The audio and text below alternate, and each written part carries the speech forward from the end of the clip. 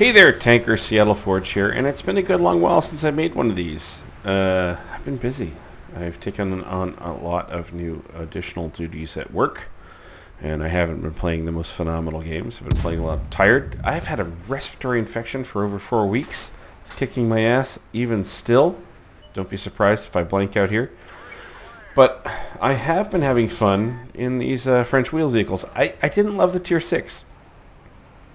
Uh, my friends liked it a lot. I think for the tier it has a really good gun. And of course the forward and backward speed is great, but it's just not maneuverable and I couldn't love it. Uh, I got the tier 7, like it a lot more. And uh, I got to the tier 8 in only 27 games, which, you know, premium account and all that kind of stuff uh, really helps out, obviously. And then I run into this house and I'm like, this KV-85 is going to fucking finish me. But uh, he's a Muppet. So he doesn't. And I have my fun with him. So, what do I like about this tank? Well, the finally the speed gets up. The gun is not amazing, but it's not bad. It's not bad. Uh, of course, with all the uh, wheel vehicles, the vision range is not great unless you really push in.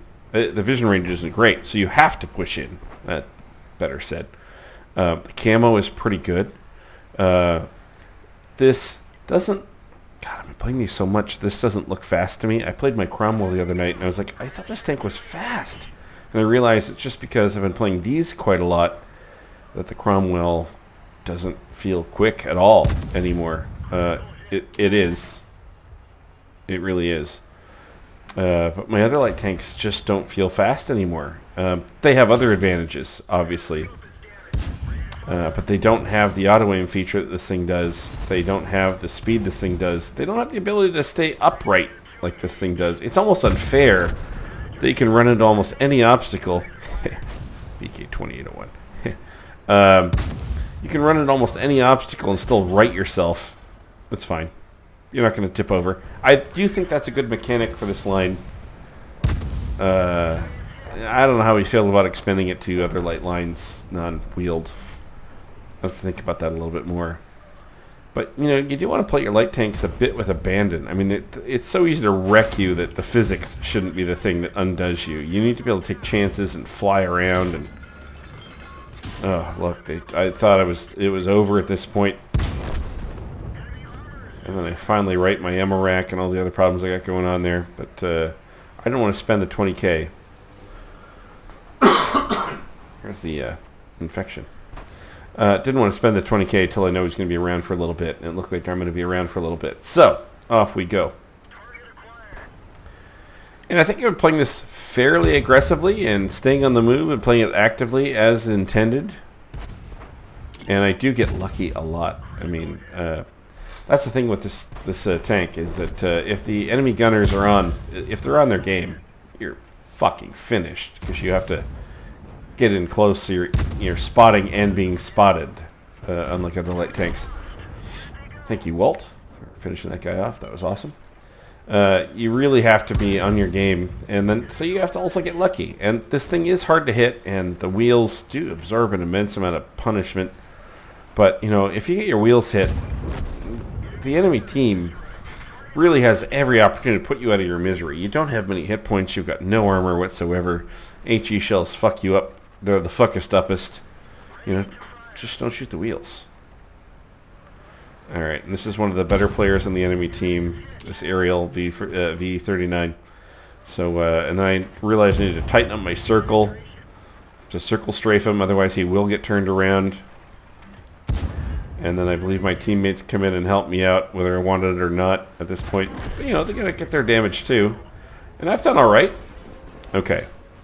The entire friendly team has pushed up to the middle or their cap.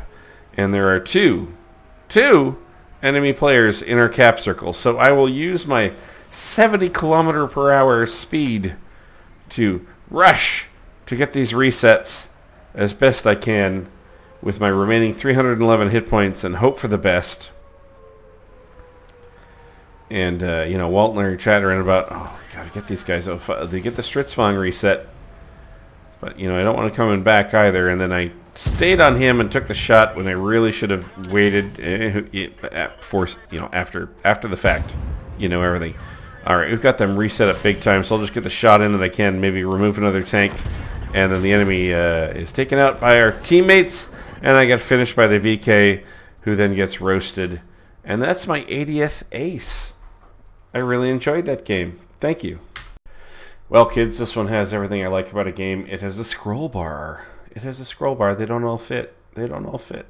So, uh, yeah, yeah, I got uh, six original spots. I did get uh, uh, assistance on five enemy tanks for, uh, well, 1,272 if the tally's to be believed. And I'd get uh, 3,042 damage on the enemy team for uh, 10,657 win 8 game, ace badge, spawning badge, bruiser, high caliber, Confederate. Uh, I'll call that a good game. I didn't feel that great until the end, I'll be honest. With almost double the experience of the next best player, uh, our Tiger P on our team, uh, with 1,327, uh, 1,326, I apologize, base XP. This turned out to be quite a result. I'm very happy with it. Uh, and uh, I just am glad that the Muppets on the enemy team, uh, four of them getting zero damage at Stira Mill. Nothing. Nothing. KV85, who I thought was going to finish me. Nothing. that's a good feeling, right? Move on to the next page. Funny that with the 23 shots fired, only 13 penetrated. Uh, perhaps that's somewhat to do with some of the HE, because I think that uh, some of those non-penetrations actually did some damage and helped out and got some of the assistance, which was nice. Came up just shy of 25,000 credits. Not a great game uh, results for credits, but a profit nonetheless. And two buns. I can't figure out how I got those. Uh, I, I, this tank's a keeper.